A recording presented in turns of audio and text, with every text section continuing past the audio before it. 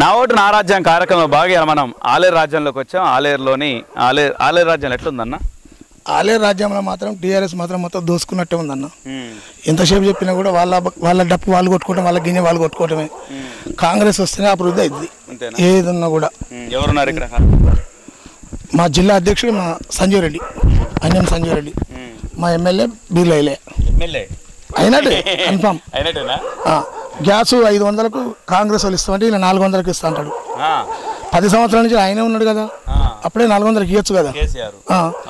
అదొకటి. ఇంకొకటి రెండోది ఏంటంటే బస్ కిరాయి లేడీస్కి మొత్తం ఫ్రీ. ఏ స్టేట్ పోయినా కూడా. అంటే కర్ణాటక కానీ మన తెలంగాణ స్టేట్ కానీ. రెండు లక్షల రుణమాఫీ అన్నాడు. ఏం లేదు. ఏం ఉరగబెట్టింది లేదు చేసింది లేదు. ఏం లేదు. అది అట్నే ఉంది. కాంగ్రెస్ గవర్నమెంట్ వస్తేనే రెండు లక్షల రుణమాఫీ కూడా మాఫీ అయింది. వడ్లకు ఐదు వందలు బోనస్ ఇస్తున్నారు కాంగ్రెస్ వాళ్ళు. అంత గత కాలంలో కూడా వైఎస్ రాజశేఖర్ ఉన్నప్పుడు ఇచ్చిర్రు. వ్యవసాయమే. చెప్పండి. రాజశేఖర్ ఉన్నప్పుడు ఇచ్చిర్రు. ఇప్పుడు కూడా ప్రభుత్వం ఏర్పడాలి ప్రభుత్వం కూడా మార్పు కూడా జనంలో కూడా వచ్చింది. దాన్ని ఏదో దొంగ రిగ్గింగ్ ఏ రకంగా చేసి కూడా గడ్డెక్కించుకుందామనే ఆలోచనతో ఉన్నారు. కానీ అది ఏం దాగదు ఏం ఎక్కదు. అది అసలు నడవదు. అది ఎంతసేపు చెప్పినా మీద దేవుడు అనుకోవాలి. దేవుని నమ్మే ఏదైనా చేస్తాం. కానీ దొంగ కూడా నమ్ముతాడు కానీ దొంగ నమ్మితే ఒకసారి కాకుండా ఒకసారి బొలత పడతాడు. అంతవరకు గ్యారెంటీ. ఈ రైతు బంధు ఇస్తే వీళ్ళు కాంగ్రెస్ వాళ్ళు కూడా పదిహేను వేలు ఇస్తామంటారు కదా. రైతు బంధు ఇచ్చినా కూడా కరెంటు బిల్లు ఎంత వస్తుందన్న నా ఇల్లుకు రెండు బిల్లు ఎక్కువ వస్తుందని మీటర్ వేసాం రెండు మీటర్లు.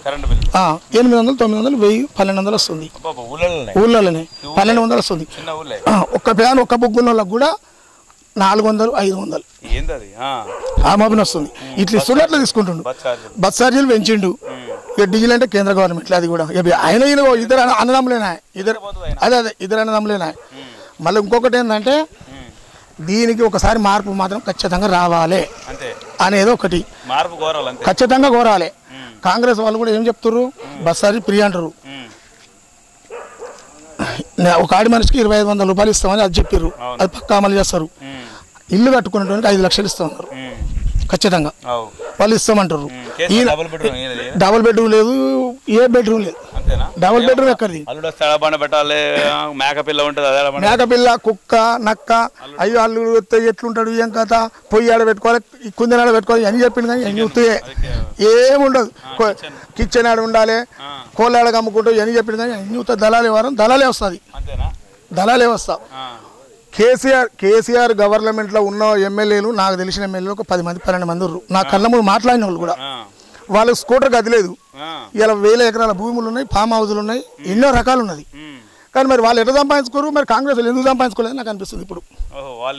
ఎక్కడ మళ్ళీ కూడా ఉసుకున్నా కూడా కొట్టుకుపోతారు ఇప్పుడు నడుస్తలేదు మా కాడ. ఉసుకే. ఏది ఆగనే ఆగదు. మళ్ళీ ఉసుక కూడా పోతుంది. వాగులకి వచ్చి మళ్ళీ వరదగా నా భూమి మనం ఎత్తిపోసుకో మనం ఇంటికాన ఉపయోగపడుతుంటే కూడా పోలీసు వాళ్ళు కొత్తనే ఉంటారు ఊళ్ళకి చోట పడగాడు ఎవడన్నా ఫోన్ చేయగానే కొత్తనే ఉంటారు.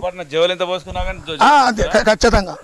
ఖచ్చితంగా. ఆ, మరి ఇళ్ళలో ఊ- ఊర్లలో ఇల్లు కట్టుకోవాలంటే ఇల్లు ఒక్కొక్కరు సగల గదిలో పడతారు. బండ కొత్తపల్లి దేవరూపుల కామారెడ్డిగూడెం కడవెండి చిత్రాపురం ఇక్కడికి వెళ్ళి మూడు వేల ఐదు వందలు నాలుగు వేల ట్రిప్ వస్తుంది. ఇక తెచ్చుకొని నాలుగు వేలు.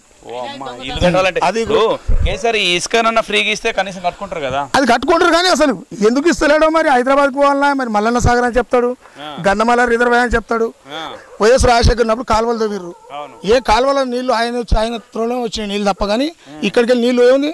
అరవై పది నెలలకు ఒకసారి వస్తాయి. ఆరు నెలలకు ఒకటేసారి ఇక మరి వస్తాయి రెండే రోజులు వస్తాయి. మనం ఇంకా మూడో రోజు అయితే రావు. ఆ విధంగా ఉంది గవర్నమెంట్ పరిస్థితి. లోకం అయితే మార్పు కోరుకురన్నా. మార్పు కోరుతారు ఖచ్చితంగా కాంగ్రెస్ వస్తుంది. ఇక్కడ ఎవరు కాంగ్రెస్ ఛాన్సెస్ ఉన్నాయి? Hundred percent. ఓకే అంటే సిక్స్ గ్యారంటీస్ బాగా నమ్మిరంటారు. గ్యారంటీగా. ఇప్పుడు ఈయన గ్యాస్ నాలుగు వందలకి ఇస్తాయంటే ఈయన పది సంవత్సరాలు పది సంవత్సరాల నుంచి ఆయనే ఉన్నాడు కదా. అప్పుడు ఎందుకు ఇవ్వచ్చుగా డబల్ బెడ్రూమ్ కట్టిస్తా అన్నాడు. అది లేదు ఇప్పుడు మూడు లక్షలు అన్నాడు కాంగ్రెస్ వాళ్ళు ఐదు లక్షలు అన్నారు. కాంగ్రెస్ ఐదు లక్షలకి స్పాట్లు ఇస్తామని అంటారు. విడుదల వారిగా ఈయన ఇస్తాడు వాళ్ళు రెండు టూ టైమ్స్ ఇస్తా అన్నారు ఇంకోటి ఏంటంటే ఈ కాంగ్రెస్ బీఆర్ఎస్ ఉంది కదా.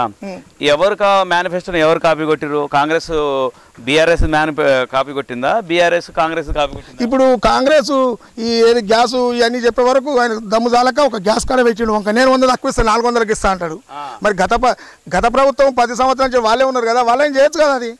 అది గది కాదు ఇది మేము డబుల్ బెడ్రూమ్ ఇవ్వలేము మేము మూడు ఎకరాల భూమి కొనియలేము దళితులకు మూడు ఎకరాలు కొనిస్తాను బీసీ బంద్ అన్నాడు దళిత బంద్ అన్నాడు. ఎక్కడ ఎక్కడ అభివృద్ధి చెందింది అది?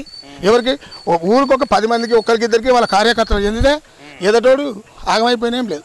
వాళ్ళ పరిస్థితి అట్లుంది. కాంగ్రెస్ ఉందన్న సెవెంటీ ఫైవ్ పర్సెంట్ ఇది? ఆలయ రాజ్యంలో ఉన్నట్టు పరిస్థితి నూనెగూడ రాజ్యంలో పరిస్థితి. మార్పు కోరుతున్నాం రైతు రైతే కదా మీరు. అట్లా రైతులంతా రైతులంతా ఇట్లా ఎవరా? రైతులంతా ఇదే అభిప్రాయంతో ఉన్నారు. మార్పు కోరుతున్నాం.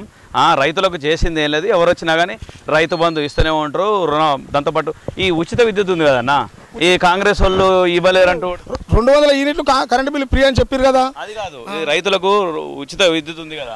అది రాజశేఖర రెడ్డి మూడు గంటలు అంటారు పన్నెండు గంటలు అంటారు ఆరు గంటలు మూడు? మూడు మనకు జనరల్గా వచ్చేది వైఎస్ రాజశేఖర రెడ్డి ఉన్నప్పుడు కరెంట్ ఫ్రీ అంటే ఫ్రీగా పన్నెండు గంటలు వచ్చింది అప్పుడు. ఓ పన్నెండు గంటలకు ఓలు ఓలుగా నడిచేది. అయితే ఇప్పుడు ఈయన ఇరవై నాలుగు గంటలు అంటాడు కానీ మొత్తం టోటల్గా తీసేస్తే పద్నాలుగు కూడా వస్తలేదు. అనటానికి ఉంది లాభక్కు తీద్దాం గుండాల సబ్ స్టేషన్ ఉంది. ఇంతకుముందు తీసిన బండ సోమవారం ఒలిగొండ మండలం బండ సోమవారం తీసారు కదా. ఇవన్నీ తీద్దాం. రైట్. అంటే ఇది ఆలయ రాజ్యాలు ఉన్న పరిస్థితి ఇది.